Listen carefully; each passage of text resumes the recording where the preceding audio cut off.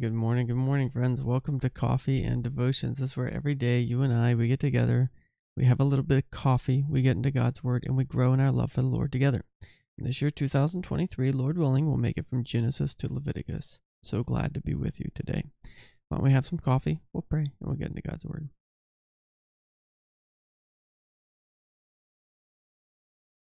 Let's pray. Father, you are a great, wonderful, and generous God. You have been to us a Savior, a refuge, and our hope. Lord, we pray that you would please help us today as we read your word, that we would understand it and that you would apply it to our hearts and to our lives. In Jesus' name, amen.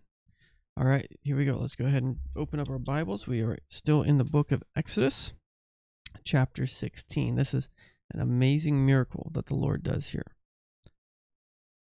And they journeyed from Elim, and all the congregation of the children of Israel came to the wilderness of Sin, which is between Elim and Sinai, on the fifteenth day of the second month after they had departed from the land of Egypt. Then the whole congregation of the children of Israel complained against Moses and Aaron in the wilderness. And the children of Israel said to them, Oh, that we had died by the hand of our of the Lord in the land of Egypt, when we sat by the pots of meat, and when we ate the bread to the full. For you have brought us out of out into this wilderness to kill this whole assembly with hunger. Then the Lord said to Moses, Behold, I will rain bread from heaven for you, and the people shall go out and gather a certain quota every day, that I may test them, whether they will walk in my law or not. And it shall be on the sixth day that they shall prepare what they bring in, and it shall be twice as much as they gather daily. Then Moses and Aaron said to all the children of Israel, At evening you shall know that the Lord has brought you out of the land of Egypt. And in the morning you shall see the glory of the Lord. For he hears your complaints. Next page. For he hears your complaints against the Lord. But what are we that you complain against us? Also, Moses said, This shall be seen when the Lord gives you meat to eat in the evening, and in the morning bread to the full. For the Lord hears your complaints which you make against him. And what are we? Your complaints are not against us, but against the Lord. Then Moses spoke to Aaron Say to all the congregation of the children of Israel, Come near before the Lord for he has heard your complaints. Now it came to pass, as Aaron spoke to the whole congregation of the children of Israel, that they looked toward the wilderness, and behold, the glory of the Lord appeared in the cloud. And the Lord spoke to Moses, saying, I have heard the complaints of the children of Israel. Speak to them, saying, At twilight you shall eat meat, and in the morning you shall be filled with bread, and you shall know that I am the Lord. So it was that quails came up at evening and covered the camp. And in the morning the dew lay all around the camp, and when the layer of dew lifted, there on the surface of the wilderness was a small round substance, as fine as frost on the ground. So when the children of Israel saw it, they said to one another, what is it? For they did not know what it was. And Moses said to them, This is the bread which the Lord has given you to eat. This is the thing which the Lord has commanded. Let every man gather it according to each one's need. One omer for each person, according to the number of persons. Let every man take for those who are in his tent. Then the children of Israel did so and gathered some more, some less. So when they measured it by omers, He who gathered much had nothing left over, and he who gathered little had no lack. Every man gathered according to each one's need. And Moses said, Let no one leave any of it till the morning. Notwithstanding, they did not heed Moses, but some of them left part of it until the morning, and it bred worms and stank. And Moses was angry with them. So they gathered it every morning, each man according to his need. And when the sun became hot, it melted. And so it was on the sixth day that they gathered twice as much bread, two omers for each one. And all the rulers of the congregation came and told Moses. Then he said to them, This is what Jehovah has said. Tomorrow is a Sabbath rest, a holy Sabbath to the Lord. Bake what you will bake today, and boil what you will boil, and lay up for yourselves all that remains, to be kept until the morning. So they laid it up till morning, as Moses commanded. And it did not stink, nor were there any worms in it. Then Moses said, Eat that today, for today is a Sabbath to the Lord. Today you will not find it in the field. Six days you shall gather it, but on the seventh day, the Sabbath, there will be none. Now it happened that some of the people went out on the Sabbath, or on the seventh day, to gather, but they found none. And the Lord said to Moses, How long do you refuse to keep my commandments and my laws? See, for the Lord has given you the Sabbath. Therefore he gives you on the sixth day bread for two days. Let every man remain in his place. Let no man go out of his place on the seventh day. So the people rested on the seventh day. And the house of Israel called its name manna. And it was like white coriander seed. And the taste of it was like wafers made with honey. Then Moses said, This is a thing which the Lord has commanded you. Fill an omer with it, to be kept for your generations that they may see the bread with which I fed you in the wilderness, when I brought you out of the land of Egypt.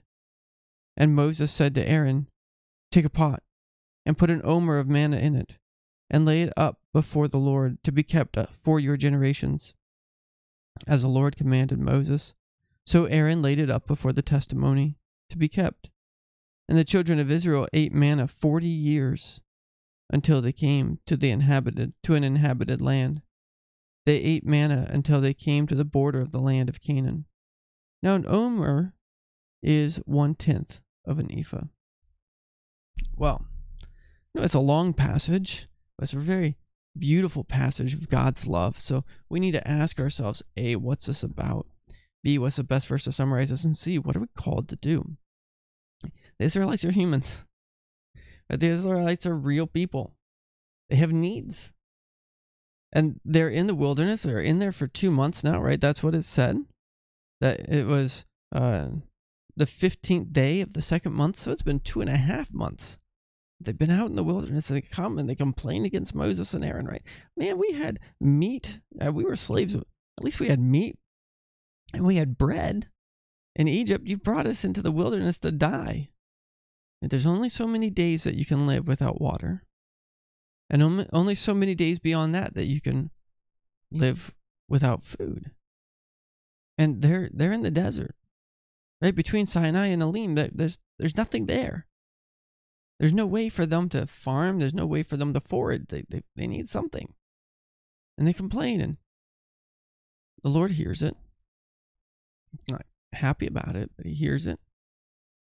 Moses and Aaron are distressed because what, can they do about it, right? They're also humans. They can't just ex nihilo create food, boom, you know, just speak it into existence. And so they're they're struggling with how are they even going to answer this. And so the Lord says to them in verse 4 something amazing. Behold, I will rain bread from heaven for you. And the people shall go out and gather a certain quota every day, that I may test them whether they will walk in my law or not. there's two things that the Lord is testing them here. Number one, He's testing them on whether or not they're going to actually trust Him, that He's giving them the bread of life. Number two, He's testing them whether or not they're going to keep the Sabbath. He hasn't given them the law yet. That's that's going to come in another four chapters. We haven't heard anything about specific laws, but here they get a preview. They they actually get to see that every single day of the week, their substance is going to come from the Lord. They're going to wake up in the morning, and, and the dew's going to dry up, and it's going to leave little little round coriander seed looking stuff that sweetness with a little bit of honey. And they're not going to have to work for it. All they have to do is go out and get it. But you can't save it till the next day. But yet some people do. And God says on the sixth day, you need to go out and you need to gather twice as much. Because on the sixth day, God God's going to give you a double portion. The next day is the Sabbath, and He's going to provide even for that day. He's going to make sure that you're cared for. He's going to make sure that you're protected. He's going to make sure that you are loved. And sure enough, there's there's enough. And unlike the other days when they had tried to save the bread and it becomes moldy and has worms in it, uh, talk about yuck, right? Somehow on the seventh, it doesn't have mold, and it doesn't it doesn't have worms. But people still go look. People still go and they look, and the Lord's angry. Right? This this is what he says. He had been testing them, and he says in verse 28 How long do you refuse to keep my commandments and my laws? And he had brought them quail that they could eat meat, and he's brought them manna. Manna literally means what? Right? Like, what is this stuff, right? They don't know what it is. But the whole point of it is one, to show that he loves them. He's going to care for them, he's going to provide for them. But number two, as their God, as their provider, as their redeemer, Will they listen to and follow him? Will they have hearts to trust in him and to walk in his ways? What we're going to find is no, no, they won't. The rest of the story of of this is this corporate elected body, the Israelites. They're not very good at doing this.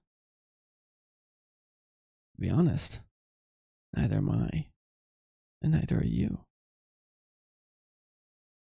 And this is where God is going to bring about one Israelite who will. One Israelite who will not just be this bread, who will be the bread of heaven himself. And will teach them, will teach us what it means to walk before God what it means to love Him and follow His commandments, what it means to trust Him and to walk in His ways, who would redeem His people at the price of His own blood, who would become our eternal Sabbath. Our rest is in Jesus Christ. Our hope is in Him. What's the best verse to summarize this? Well, I think verse 4 gets to the heart of it. And also, I think that verse 12 gets to it as well, especially the last part. At twilight you will you shall eat meat, in the morning you shall be filled with bread, and you shall know that I am Jehovah your God. But I would probably also be tempted to underline. Well, I'm not tempted. I do have it double underlined. Verse 28, the last part. How long do you refuse to keep my commandments and my laws? Well,